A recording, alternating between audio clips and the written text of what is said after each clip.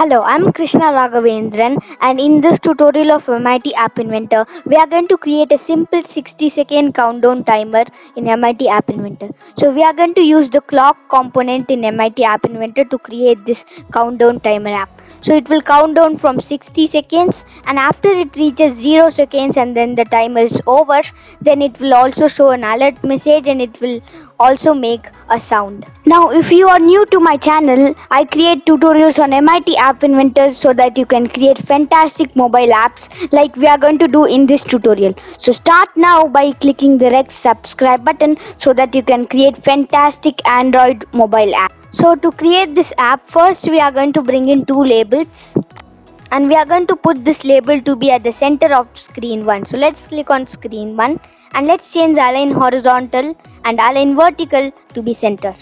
Next we are going to change the text of label 1 to be time remaining.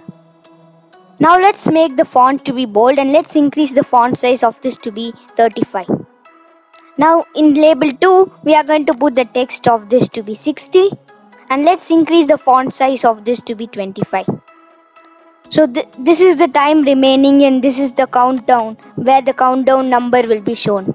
Next we are going to bring in a button and let's change the text of this button to be start. Now we are going to increase the font size to be 20 and let's make the font to be bold. Now let's change the background color of this button to be orange.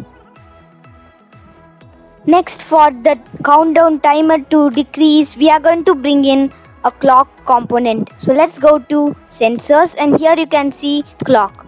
So let's bring it in and make sure that the timer interval is 1000 milliseconds which is 1 second and then timer enabled should be unchecked.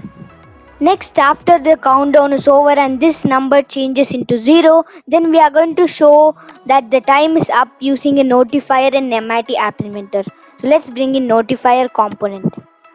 Next we are going to play a sound after the timer is over and after this changes into 0 we are going to play an alarm sound. So let's go to media and here you can see sound component. Now for the source you need to upload the sound file.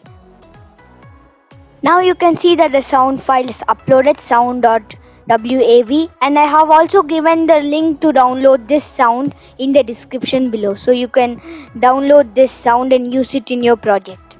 Now let's go to the block section. So when button 1 which is the start button this button is clicked, we need to start the countdown timer. So we are going to enable the clock 1 component. So here you can see set clock 1 dot timer enabled to.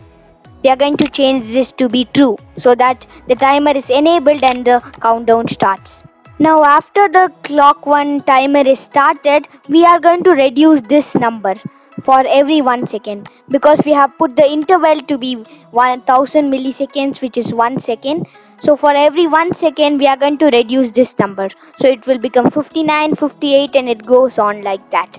So let's to decrease the number first we are going to bring in here in clock you can see when clock 1 dot timer here we are going to decrease the number. So set label 2 dot text to let's bring in this block we are going to decrease it by 1 so we will get label 2 dot text and then let's go to math blocks and here we are going to bring in the subtraction operator. So label 2 dot text minus 1 so let's bring in the math block and let's change this to be 1 so that it is getting reduced by 1 after it goes to 0 we need to show the alert and we also need to play the sound file so let's bring in an if condition. So here you can see the if condition. If label 2 dot text let's bring in equal to block. If it is equal to 0 then we are going to show an alert message. But first we are going to stop the timer. So we are going to disable the clock 1 dot timer. So set clock 1 dot timer enabled to false Next we are going to play the sound file. So let's go to the sound component and here you can see call sound1.play. So it will start playing the file which we have uploaded here sound.wav. Next we also need to show a message in the notifier. So we are going to bring in this block show message dialog and then let's we are going to put the message to be time up so let me put the message time up. And then and the title is going to be I'm going to put the same title. If you want you can change it. And now the button text is going to be okay.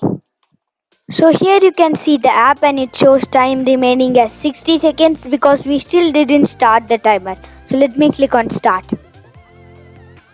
And you can see that the countdown timer is getting reduced by 1 for every second.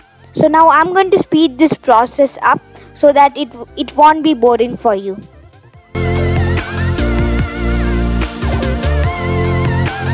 Now you can see that only 5 seconds are remaining now 2 So you can see that it makes a sound and it also shows an alert message like time up.